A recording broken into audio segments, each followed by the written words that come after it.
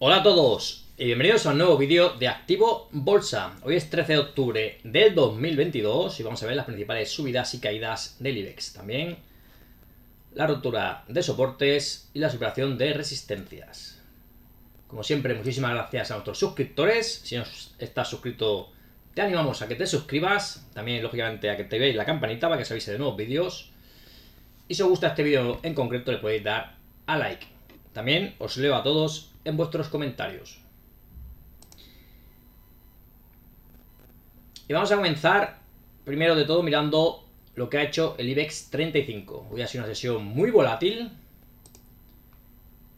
Una sesión donde se espera con impaciencia el dato de IPC de Estados Unidos.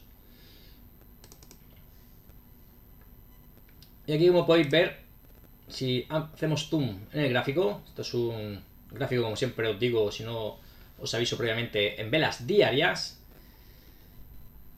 Y la sesión del IBEX, que más o menos estaba en verde hasta las 2 y media, que ha salido el dato del, IBC. Desde ahí han venido fuertes caídas en casi todas las bolsas europeas, también en los futuros de Estados Unidos. Pero tras abrir la bolsa de Estados Unidos, se han ido dando la vuelta y acabando en verde. Aquí podéis ver cómo estaba perdiendo soporte el IBEX 35, este pequeño soporte de corto plazo tenemos aquí marcado en rojo, para finalmente acabar en la zona de 7.348 puntos, prácticamente haciendo una envolvente alcista a la vela previa. Veremos si de aquí conseguimos nuevamente rebotar, en este caso nuevamente esta, esta zona de 7.700, incluso, ¿por qué no?, un poquito más arriba. Eso ya veremos con el tiempo. Lógicamente perder esta zona que ahora ha dejado los mínimos de 7200 sería negativo. Y aquí os traemos lo que os comentábamos de la noticia de la inflación de Estados Unidos. Según esta noticia, minora al 8,2, pero sigue más fuerte de lo previsto. En principio, esta noticia se ha visto como negativa, pero se hay muchos inversores esperando estas correcciones y han empezado a entrar dinero en los mercados. Así que atentos a lo que vaya haciendo en las próximas sesiones los índices tanto de Estados Unidos como de Europa. Como decimos, en principio una noticia que se ha tomado mal el mercado, pero finalmente, como de momento podéis ver, lo que ha sido las bolsas europeas se ha revertido al alza. Y habrá que ver si en Estados Unidos, que al momento de grabar este vídeo también está subiendo ahora con fuerza, había empezado cayendo mucho, dejando un gran hueco ha cerrado ese hueco, incluso ahora está en positivo, más del 1%. Y habrá que ver si no se desinfra eh, lo que son los índices de Estados Unidos de aquí a final de sesión. Sería importante, lógicamente, que no se desinflaran y que fuese una sesión de menos a más. Podría traer desde estas zonas un importante rebote. También queríamos aprovechar, ya que estamos aquí dentro de internet, os queremos aprovechar para recordaros que todos estos vídeos nos viene patrocinando esta página web de Chollos Deluxe. Como podéis ver, si entráis en la página encontráis muchísimas ofertas y descuentos. También si os gusta la página os podéis unir a su comunidad de Telegram. Una, una, vez visto el IBEX 35, que de momento aguanta soporte y como hemos dicho prácticamente casi casi nos dejan a moverte envolvente alcista, Vamos a ver las principales subidas y caídas en el IBEX 35. También veremos, como hemos dicho, la rotura de soportes y resistencias. Y al final del vídeo os comentaremos una acción en la que hemos entrado precisamente hoy. La acción que más ha subido en el IBEX 35 ha sido IAG. En este caso ha subido un 9,34, una muy fuerte subida. Que además le ha hecho superar esta resistencia, antiguo soporte de la zona de los 1,20. Como puede ver, una vela muy potente y tendría su siguiente zona de resistencia, la zona de 1,32. Veremos si es capaz de conseguir superarla e ir a buscar la media móvil 200. Ya comentábamos en, este, en esta empresa que su primera zona de resistencia era esta zona de 1,20 y que mejoraría algo el superarla precisamente hoy lo ha conseguido. Sí que es cierto que nosotros esperamos que este valor cayese hasta la zona prácticamente de 1. Estamos ya meses y meses esperando para intentar una entrada en esta zona de 1. Se quedó muy cerca en 1.04. Aquí no entramos, esperamos un poquito más de corrección. Y de momento se parece que se nos está escapando. Veremos qué acaba sucediendo. Si finalmente viene a buscar esta zona de mínimo de 2020 a la zona del euro por acción. O desde aquí ya le vale para empezar cierto rebote. Ya sabéis, siempre que analizamos IAG, siempre hablamos de que la vemos dentro de este canal, claramente canal bajista. Pero como hemos dicho, esta es su primera señal de mejora.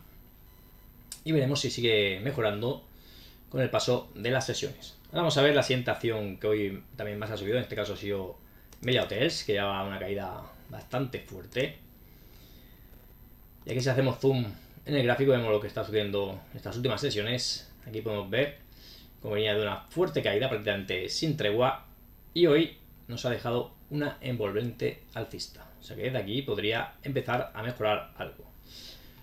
Su primera zona que le marcaríamos de resistencia sería este antiguo soporte que tiene aquí por debajo de los 5 euros exactamente en los 4 con 92. O sea, sería su primera zona interesante a superar, ya que en caso de superarla mejoraría algo el aspecto técnico de este gráfico.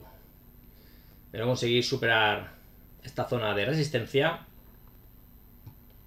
como nosotros veníamos comentando, no le vemos ningún soporte hasta esta zona de los 2,92. Aquí de esta zona de 2,92 subió muy vertical, sin dejarnos prácticamente ninguna, ninguna zona para marcarles soporte.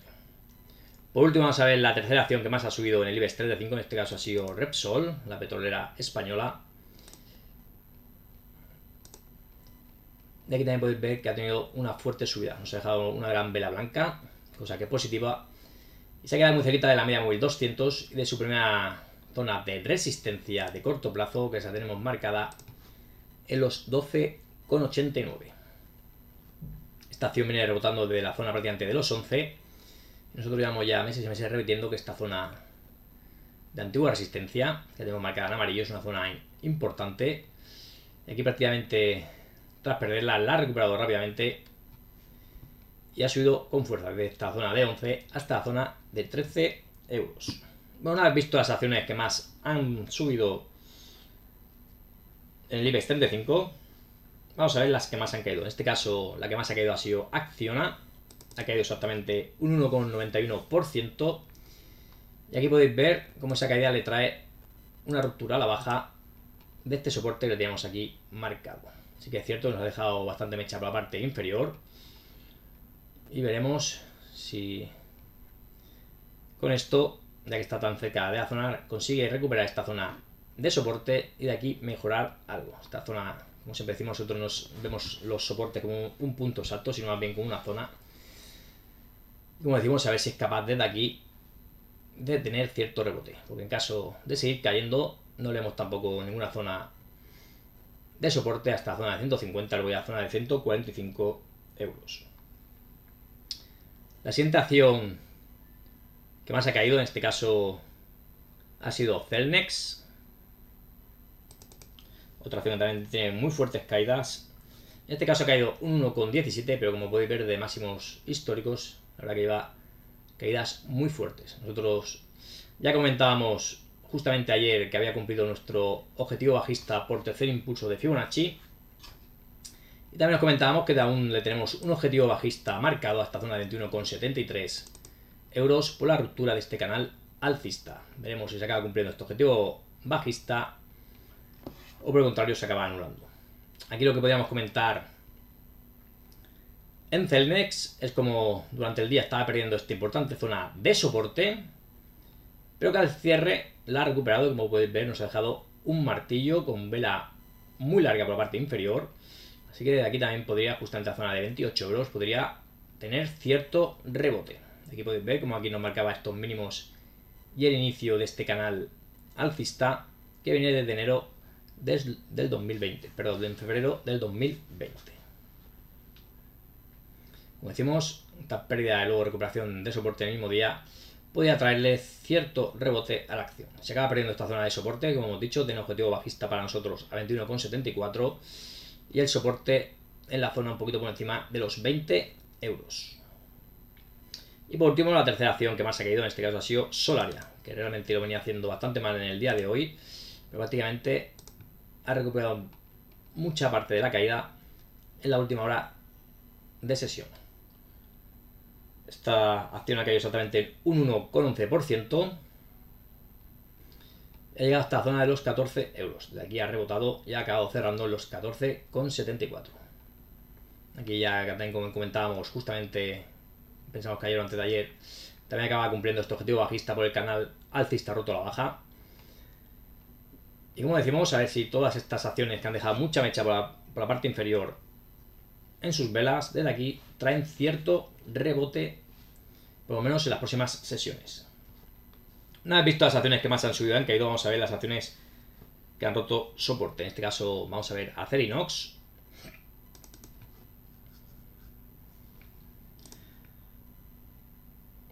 Exactamente aquí Acerinox, bueno, allí comentamos, ayer comentamos exactamente que había roto soporte y hoy lo que ha hecho ha sido recuperarlo, ¿vale? Lleva tonteando durante, durante muchas sesiones con esta zona de soporte que tenemos marcado a Cerinox, exactamente en los 8,11 euros. Voy a ver ya prácticamente dos semanas, tanto a la alza como baja, esta zona de los 8,11. Y hoy podemos decir que ha recuperado este soporte. Veremos si también desde aquí este rebote en las próximas sesiones se sigue materializando. Aquí le podemos marcar una especie de, de strip bajista, también sería interesante que acabase superando al alza. Una vez visto a Cerinox, vamos a ver Enagas. Aquí en Agas la traemos más que nada como ejemplo de lo que ha hecho muchas acciones. En, en el caso del IBEX 35, aquí podéis ver que tenemos marcado un soporte que venía de año 2015 y 2018. Lo que queríamos comentaros es como la acción durante el día perdía zona de soporte, pero al final del día cerraba por encima de dicho soporte. Lo ha hecho muchas acciones, o sea que, como nosotros, nosotros comentamos, siempre la zona de soporte la vemos más bien como una zona, no como un punto exacto. Así que de momento podemos decir que este soporte sigue en pie. Y veremos si desde aquí trae cierto rebote en esta acción, igual que en el resto que, como hemos dicho, han tocado y perdido durante el día el soporte, pero a cierre lo han conseguido recuperar. Esta acción lleva mucha caída prácticamente sin descanso, de la zona de los 19,70 euros, así que podríamos ver cierto rebote en esta acción. Por último vamos a ver en la bolsa española Grifols. En este caso traemos Grifols no porque haya perdido ningún soporte, sigue con soporte en pie, pero sí que hoy, precisamente hoy, nos ha cumplido por fin el objetivo bajista tan tremendo que teníamos marcado en la zona de 8,16 por este hombro, cabeza, hombro que nosotros le marcábamos hace ya meses y meses. Nos parecía un objetivo prácticamente que se anularía, que sería imposible que lo acabase cumpliendo, pero finalmente hoy lo ha acabado cumpliendo. Veremos si de esta zona, incluso la zona de 8, que es una antigua resistencia que la pasa a ser soporte, si esta zona tiene de los 8 euros, desde aquí podemos a una reestructuración al alza de Grifols, a una figura de vuelta o incluso algún suelo. Y en caso de ver algo de eso, intentaremos hacer alguna operativa en esta acción, que nos parece que está muy castigada. Uno de los motivos que pueda estar tan castigada es por la fuerte deuda que tiene y la subida de tipos de interés lógicamente no le viene nada bien. Y por último vamos a traer la, acción que hemos entrado hoy en ella y no es otra que Meta. Hemos entrado en Meta Platform, la antigua Facebook. Era una acción que llevamos también mucho tiempo vigilando. Y por fin hoy nos hemos decidido a entrar. La traemos aquí, luego ya esta semana en el resumen semanal de las acciones que tenemos en cartera en Operando en Bolsa, hablaremos de ella. Nosotros aquí en Meta, bueno, hacía máximos esta zona de 385 dólares, aquí nos dejaba un tremendo hueco bajista, y aquí nosotros le marcábamos un canal también bajista que de momento sigue respetando. Como soportes, le teníamos marcado este soporte que venía de 2020, la zona de 138, Y también este, este soporte, la zona de 123. Hoy se ha quedado muy muy cerquita estos 123 dólares al inicio de la sesión. Nosotros hemos entrado justamente en 125 dólares y de momento le hemos puesto un stop en los 100 dólares justo. Aquí arriesgamos un 20% de capital en esta operativa, lo que para nuestra cartera supone un 1% de riesgo. Es decir, si nos acaba saltando el stop, perderíamos el 1% de toda nuestra cartera. Nosotros aquí vemos una zona interesante para que este valor pueda tener cierto rebote. Nosotros toda esta zona la consideramos zona de soporte, es una zona amplia de soporte.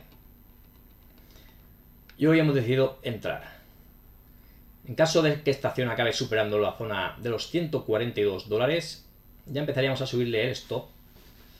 Aquí vamos a marcar esta zona de 142 dólares, sería más o menos esta zona que sería su primera resistencia de corto plazo.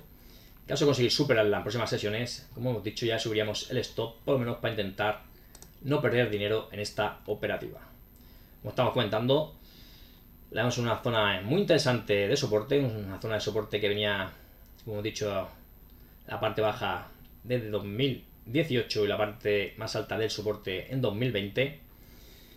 Sí que es cierto que en caso de perder esta zona de 123, Tendría también muy cerquita otra zona interesante de soporte. Esta zona de los 114 dólares.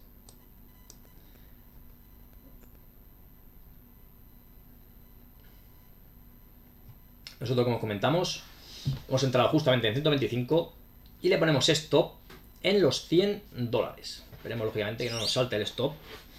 De verdad que con estas sesiones tan volátiles hay muchos stops que nos han saltado. Pero este es el juego de la bolsa.